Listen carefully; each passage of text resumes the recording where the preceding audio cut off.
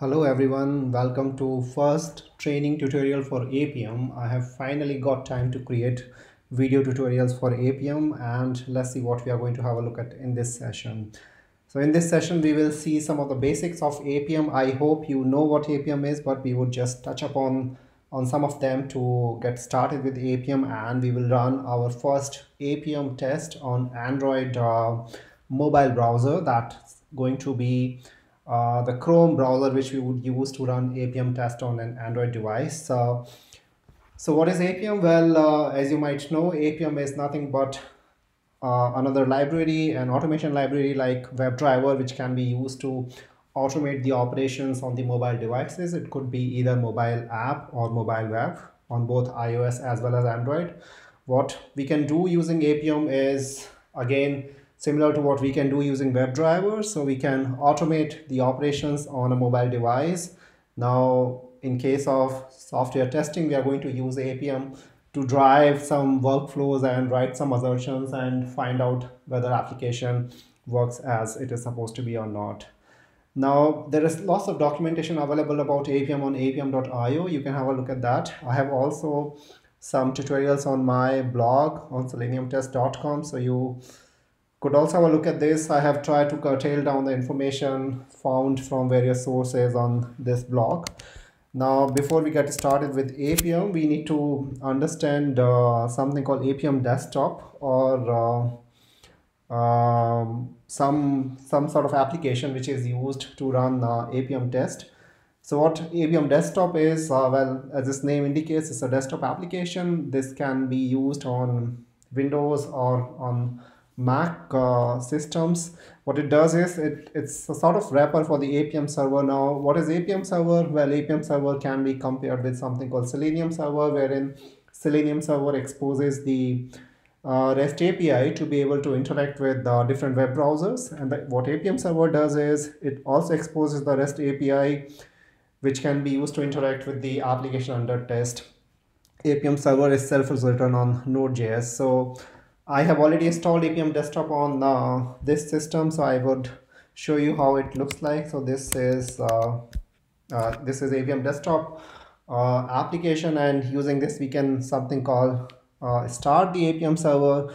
This can also be used to inspect elements. This can be used to define some capabilities. We would see Appium desktop in details in future sessions when we start uh, using it to inspect the elements to be able to find out different element locators on the mobile app and to be able to derive test using those element locators. But for now let's uh, just have a brief look on these different features. So this is the Appium desktop.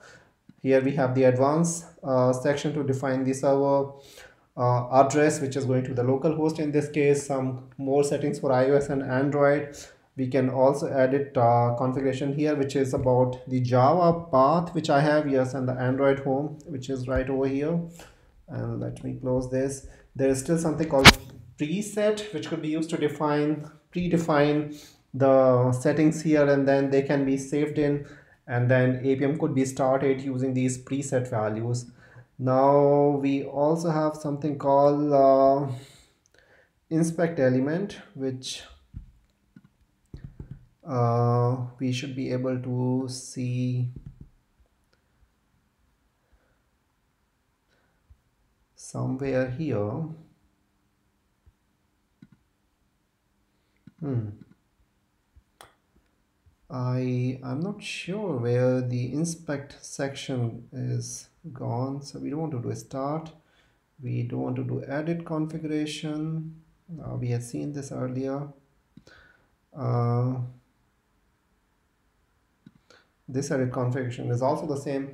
Anyways don't worry we will have a look at um, uh, inspect element capabilities in the future. So uh, let's park it for now. So what I would do is I would just start the Appium server here using a start server button and it would start the Appium server on my local host. Let me change it to localhost and here it is. Uh, so server is up and running now what I'm doing here is I'm going to use uh, Android device to run test on Chrome browser on an Android device. But since um, I'm recording this session on my uh, Mac machine, I would also want to show it to you and how I have done that is uh, I have done this using something called Visor. So if I go back to the agenda, Visor is uh, one free application which can be used to mirror the device on the um, on the Mac or on the PC. So I have already installed this and uh, if I launch the Visor, you would be able to see my mobile device here. So yeah this is my mobile device. Whatever operations i do here you would be able to see what's going on on my mobile device. So you are not left in dark as to what tests are being run and so on now before uh, you could really use this uh, be sure that you need to enable something called developer mode on the android device and you also need to enable something called usb debugging. I have described these options in details on another blog which i'm going to link uh, on um, the post I'm going to make after this uh, about this session. So you could uh, enable the developer mode and also enable the USB debugging to be able to see what's going on on my device as well as have Appium control the device. Uh, we what we also need is we have to install something called ADB, which is Android debug bridge. It's uh, it's a sort of command line tool which helps uh, communicate uh, with emulator as well as Android devices. I'm using here Android device and how you can install this. Uh, this is also described in another blog post which I'm going to link in this uh, session as well.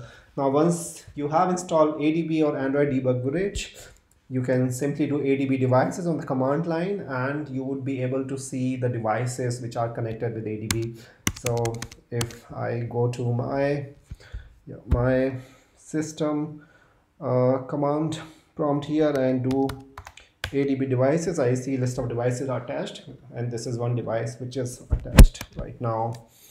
And then next we would well execute the test. So we have the apm server here. I would start it in a while again. I have adb set up so i can see the devices attached using adb devices. And then i need to execute the android uh, web test one thing I encountered is that uh, we cannot use something called ID and name, which we used in web automation very frequently for Android automation as well because of uh, one issue which is described here. Again, I'm going to link it uh, to the blog post. So what happens here is uh, in case of Appium, uh, there is uh, some change with respect to what element locators could be used and what is allowed as element locator is only the CSS and the XPath locators which are described here. So I had to change one of the application locator to be able to run test to CSS. And that locator is uh, in Android web test. So let's see this class, Android web test. Mm, it's right over here. Yep. So what I do here is I launch a registration page. We have seen the registration form many times in past and what I had to do was I had to modify this element locator first name. It was using locate by name. I had to update it to locate by CSS selector. And what this test does is it launches the registration form and then it does assertion on whether the title is right or not which means whether we have reached the right page or not. And then I also added some more elements on the testng.xml file which is one more test element which is right over here. This is for android mobile site test. So i have test type as web browser is android here server url is my localhost automation name is appium platform is android. Device name is the device name which we get from adb devices here. And then browser name is chrome. Command timeout is 120 parallel is false because i'm not running test in parallel and the class name is the test which we had a look a while ago. So let's get started. Let's run this test. So i would uh, first start the appium server yep. So you can see here the logs for the appium server and next let's also see the visio so we um, let me bring visio up. Uh, I think it's called Visor, not Visio. That's a different uh, tool. So yeah, Visor, and as you can see, this is my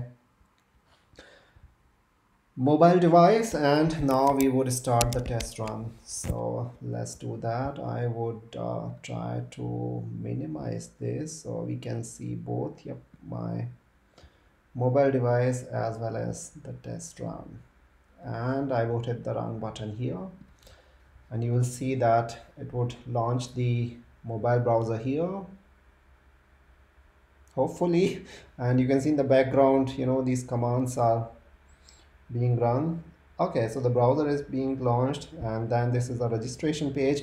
And as you see the test run was successful a very simple test about launching the registration form and verifying the title. You can build up more and more tests on this like you would usually do with the um, other WebDriver test for web browser. Just here we are using the mobile uh, browser instead of the web browser. And here in the background there are lots of logs of Appium server being posted on um, the server or the Appium desktop application which we have here.